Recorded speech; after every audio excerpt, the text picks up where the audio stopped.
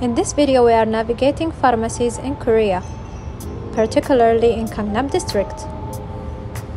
As Gangnam is the center of fashion, business, and entertainment, the district is also famous for plastic surgery hospitals,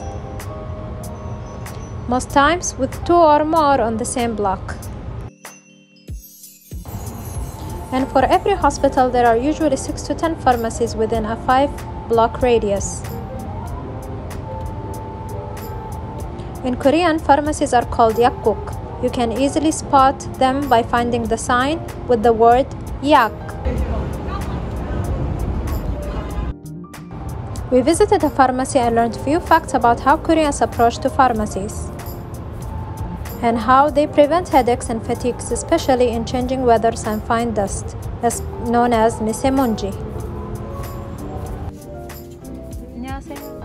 Koreans can also tend to ask for traditional herbal medicine from the pharmacist to prevent fatigue and easily ask for over the counter medicine. Over the counter medicines are between 2 to 12 dollars.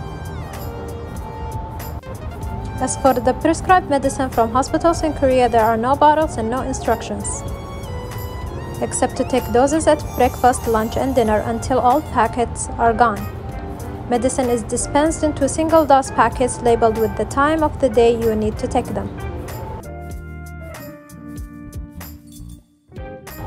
Pharmacists in Korea mostly speak Korean.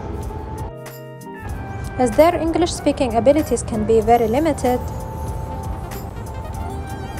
it is advisable to prepare your over the counter medication name and do your research.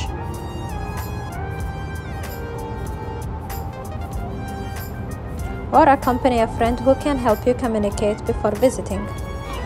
As we are in Gangnam, you can find pharmacies that operate with English and other languages, which is helpful for international tourists and residents. Pharmacies usually operate during the normal working day hours and they close early at night. But there is another supplier for over the counter medicine for 24 hours. That is convenience stores, run 24 hours. In case of emergency, you need not to worry as they are supply over the counter medicine. They are also a great alternative on Sundays,